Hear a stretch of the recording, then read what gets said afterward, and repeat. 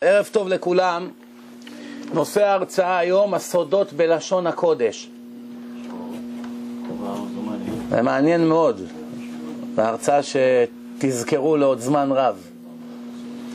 היום זה רק חלק א', אפשר לעשות על זה מאה חלקים, כן? היום חלק א', בעזרת השם שבוע הבא חלק ב'. אנחנו רואים שיש היום בעולם מאות אם לא אלפי שפות, מאות של שפות ודאי יש. כל השפות מתפתחות אחת מהשנייה, כן? רואים, בוכרית, רוסית, חלק מהמילים ככה, פרסית, בוכרית, זה משתנה, קפקזית, גרוזינית, הכל מתחיל להתפתח ונוספים מילים, גם העברית של היום זה לא העברית של התורה. יש אולי 20-30 אחוז מהמילים בלשון העברית המודרנית היום, שהן מילים לועזיות, מילים ערביות, מילים בספרדית, מילים באנגלית, מילים ברוסית, כל מיני מילים. אה, מחיה השפה העברית, מחיה. למה צריך להחיות את, שפ... את שפתו של בורא עולם? למה צריך להחיות אותו? בגלל שאחרי אלפיים שנה שהיהודים היו בגלות, אלפיים שנה שהיו בגלות, אז התפזרו, אז באשכנז דיברו יידיש, בארצות ערב היהודים דיברו ערבית, בספרד, לדינו, ספרד, פורטוגל, דיברו, היו שפות, אבל לא דיברו, לא דיברו לשון הקודש בשפת היום-יום. זה היה טוב לישיבות. והשפה היא כביכול היא פרימיטיבית, מה פירוש? אין את המילה מעלית בתורה, לא היה כזה דבר בזמן התורה, כן? אין את המילה אסטרונאוט, לא היה את זה בזמן התורה. יש הרבה מילים שהיום משתמשים שלא היה אז בזמן, בזמן התורה. אז עכשיו מה יעשו? אה, נשתמש בשפה שהיא רק 70 אחוז ו-30 אחוז מהמילים לא יהיו מילים. אז מה ישבו? ישבו מועצת החכמים, אליעזר בן יהודה, שהוא בעצמו היה חילוני, לא היה דתי, אבל הוא שכר אה, תלמידי חכמים, ראשי ישיבות בתשלום, והם הקימו את האקדמיה ללשון שהיא קיימת עד היום. כל שבוע יושבים, דנים, או כל חודש, וממציאים מילים חדשות. כל הזמן יש מילים חדשות. היום איך, איך ממציאים מילים חדשות היום? אנשים כותבים, עושים סקר, שואלים איך לדעתך כדאי לקרוא לאדם שעושה ככה וכך, ואנשים שולחים. הם עושים הצבעה ומחליטים איזה מילה לקבל, והמילה הזאת נכנסה להיסטוריה, מהיום ועלה השתמשו בה, וזה אתה המצאת אותה. ככה זה עובד.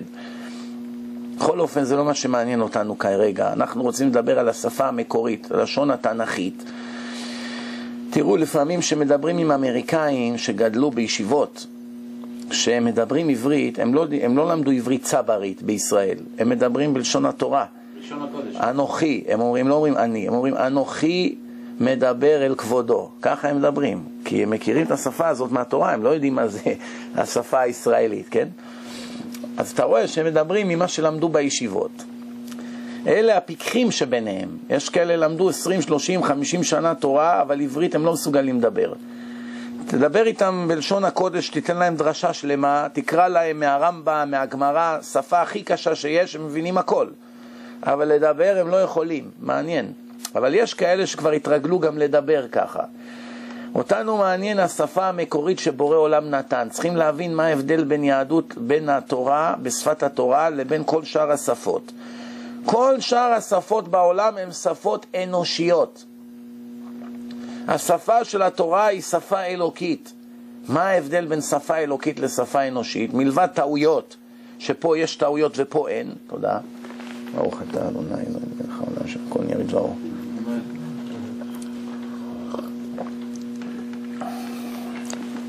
שבלשון הקודש כל המילים מעידות על המהות של הדבר. תכף נראה כמה דוגמאות. בשפות אחרות, כל השפה, כל השפות האחרות שהמציאו אנשים, הם אספות של בני אדם שישבו ודנו איך לקרוא לכל דבר. אבל עד איזה דור דיברו כולם באותה שפה בעולם? עד הדור של מגדל בבל, דור הפלגה זה נקרא, כל האנשים דיברו את לשון הקודש, לא ידעו שפה אחרת. בורא עולם נתן שפה, אדם הראשון למד שפה, אדם הראשון קרא לחיות בשמות שלהם, כלב, חתול, שור, פר, כל המילים האלה זה האדם הראשון נתן. האדם הראשון לימד את בניו את לשון הקודש, מה שבורא עולם דיבר איתו, זה 2400 שנה בערך לפני מתן תורה בכלל. זה אני מדבר מהאדם הראשון ואשתו, חווה, קין והבל, שאת כל הדור הזה שהתפתח לאנשים דיברו בשפה אחת כל הארץ, ככה כתוב בתורה. עד שבאו החכמולוגים, תמיד היו חכמולוגים, לא רק היום. איך אומרים באנגלית? wise guys. והחליטו לעשות מגדל, לעלות למעלה ולמרוד בבורא עולם. נכון שזה נשמע מאוד דיבילי, שיבואו קבוצה של אנשים, אפילו מיליונים, ויעשו בניין למרוד בבורא עולם, זה מאוד דיבילי, אבל זה דיבילי היום בימינו, שיצאנו לחלל ויש לנו חלליות ולוויינים, זה נראה דיבילי שאנשים עושים מגדל להגיע לשמיים. אבל בואו רגע נצא מהמודרניזציה שלנו וננסה להיות פרימיטיביים, נלך חמשת אלפים שנה אחורה. מה היה בעולם? מביטים לשמיים, רואים נקודות של אור, כוכבים. מה המרחק מכאן לשמיים? אין שום דרך לדעת. היום אתה יודע שזה אלפים של, אלפים של קילומטרים. אבל מי שמביט לשמיים, מאיפה הוא יודע כמה זה? אומרים, נעשה מגדל 500-600 מטר, נראה מה הולך שם. כמובן שהמגדל הזה היה נבנה עד היום, הם לא היו מגיעים. יש שבעה רקיעים, 500 שנה בין אחד לשני, בין רקיע לרקיע מבחינה פיזית. בכלל לא מבינים מה זה, מה הכוונה 500 שנה. בכלל יש, יש כמה דברים שקשה מאוד להבין אותם. מבינים את העיקרון, אבל להבין את הדבר לעומקו, לשורש, קשה לדעת. למשל, יש ארבע עולמות. אמרתי את זה באחד ההרצאות. יש עולם אצילות, עולם הבריאה, עולם היצירה ועולם העשייה. תמיד תזכרו אביה. אצילות זה הכי גבוה, עשייה זה הכי נמוך, זה העולם שלנו. בעולם הזה אדם נבחן לפי מעשיו.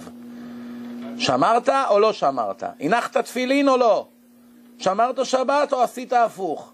העשייה שלך נותנת לך ציון כל רגע ורגע. נכון שיש גם אמונה וידיעה ולימוד תורה, שזה יותר לימוד ויותר מחשבה ויותר לב ויותר מוח, שזה כבר בדרגה אחרת מעשייה, נכון. אבל בעולם הזה אדם נבחן לפי מעשיו, אצילות, בריאה, יצירה, עשייה. ארבע עולמות.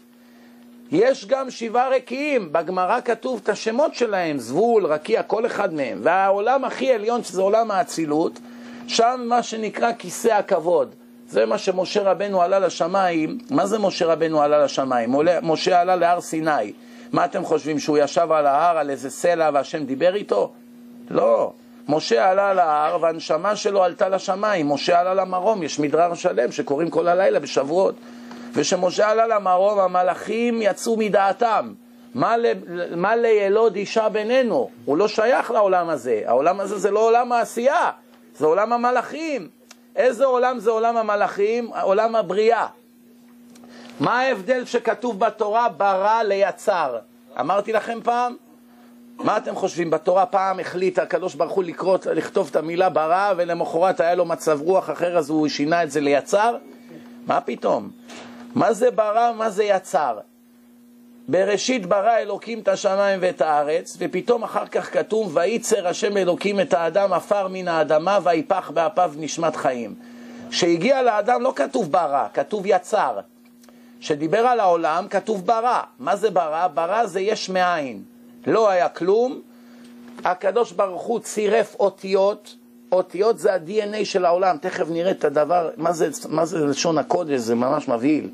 איזה אחריות אדם מקבל אחרי שהוא מבין מה הכוח של כל מילה שיוצאת לו מהפה. הקדוש ברוך הוא אמר, ויהי אור.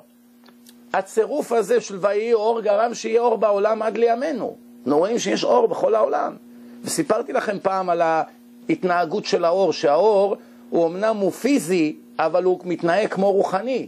האור גם כשעוצרים אותו הוא מאיץ מחדש בלי אנרגיה. 300 אלף קילומטר לשנייה. ואיך הוא יודע לעצור ב-300 אלף קילומטר לשנייה? לעולם לא נבין. זה המדענים לא יכולים להבין. זאת אומרת, כל דבר שהוא בתנועה הוא נע בהתאם לאנרגיה שמניעה אותו. יש לך 100 גלון של דלק, זה יניע את החומר לכך וכך זמן, בכך וכך מהירות, לפי גודל השרפה. כמה שתשרוף יותר, ייווצר יותר לחץ, זה דוחף את המטוס יותר מהר, כן? זה כל העניין של גז ו... אבל אור, הוא זז בלי אנרגיה, פלא פלאים.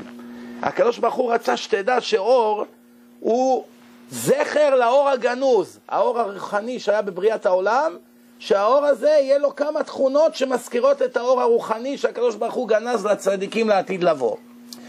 אז כשכתוב ברא, הכוונה יש מאין. זה בעולם השני, שזה עולם הבריאה, יש מאין. אין כלום, עכשיו אלוקים עשה הוקוס פוקוס והנה יש הכל. מה זה יצר? מלשון צורה. יש מיש. מה פירוש? יש כבר חומר גלם, יש עץ. לוקחים את העץ, מנקים אותו, עושים ממנו צורה, שולחן, כיסא, מיטה. זה נקרא יצירה, ככלי ביד היוצר, כן? אתה יוצר את זה לפי איך שאתה רואה, אבל אתה לא יצרת את העץ.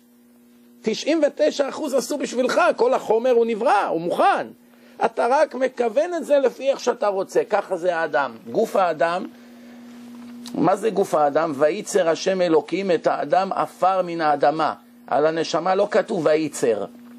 נשמה זה חלק אלוה ממעל, זה תמיד היה. הקדוש ברוך הוא, מאן דנפח, חז"ל אומרים, מדלה כנפח. הוא נפח את האנרגיה הרוחנית מתוך עצמו. אנחנו לא מבינים מה זה מתוך עצמו. גם לעולם לא נבין מהעולם הזה. אי אפשר להבין כאלה מושגים. אנחנו מבינים קצת קצת מאוד כדי להבין שזה משהו רוחני שהשם נפח בתוך האדם, שזה נקרא נשמה. הנשמה יש לה חמישה חלקים. נפש זה החלק התחתון מאוד, שזה מין כזה דבר שהוא כזה חצי רוחני, חצי גשמי. כתוב בתורה לא תאכל את אדם כי אדם הוא הנפש.